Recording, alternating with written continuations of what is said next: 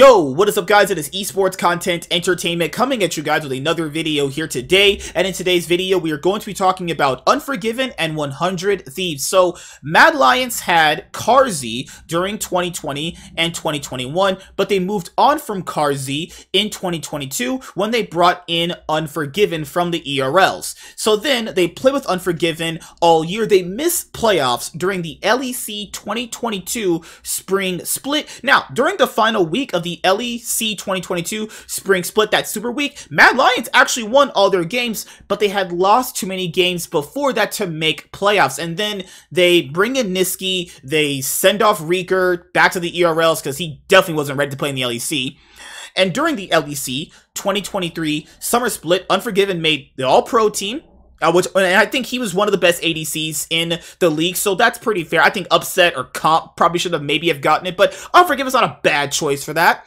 Then, obviously, Mad Lions failed in the playoffs for the LEC 2022 Summer Split, and then they went to Worlds 2022 play-in stage, and then they got knocked out by Evil Geniuses 3-0 during the L during the 2022 League of Legends World Championship play-in stage. And then Mad Lions are going to go and get Carzzy from Team Vitality. Carzzy was one of the worst AD carries in the LEC, and Mad Lions are like, you know what? I know we got a really good AD carry right here that we kind of brought up, and he was doing pretty good for us us. But you know what? That guy, Carzzy, he was tearing it up on Team Vitality, right? No, the fuck he wasn't. Carzzy stunk in 2022. Makes no sense why you would move on from him to Carzzy. Just makes no sense, right? So then, Unforgiven, obviously, he put out on his Twitter account, like I mentioned before, that, you know, doesn't have a team. And this kind of is a wrench in everything. Because, like I've mentioned before, with any offseason that has ever existed, anything and everything can happen. Nothing is officially set until pen is put to paper and those signatures are there, right? So then we have this tweet that comes out from LEC Wooloo, which is sources bot laner Unforgiven will play for 100 Thieves next year. It is not known yet whether he will play in the LCS or Academy team. Karmine Corp was interested in the player, but he committed last night. That is interesting. Because remember, guys, the big rumor Spica, Doublelift, and Bjergsen. Now, Unforgiven is actually pretty good.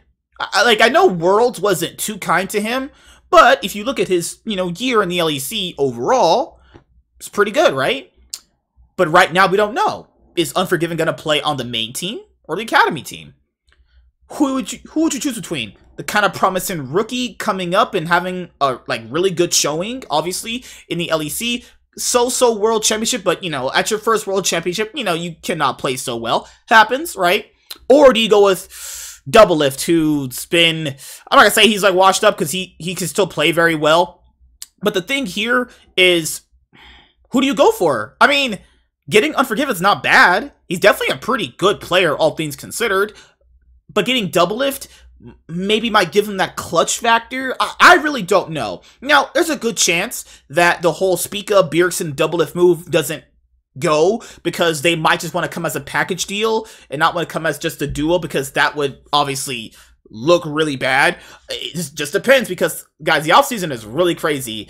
This wouldn't be a bad pickup either because I know, like, maybe the 100 Thieves fans would go, but we didn't get Doublelift, uh, but he's not bad. This isn't a bad player to get at all. You know, it's a fine player, my own personal opinion. You know, that would be an actual, like, technically an upgrade over FBI. Not, I mean, not even technically. He played better than FBI all year anyway, so you'd be getting an upgrade in the AD carry position anyway. I think the move of Bjergsen over Abbedagge is really not that good, all things considered, when you really look at it. But then again, who gives a fuck, honestly? It, it, like, like, when you make a team, it's pretty much just rolling the dice anyway, so we'll, we'll have to see how that goes.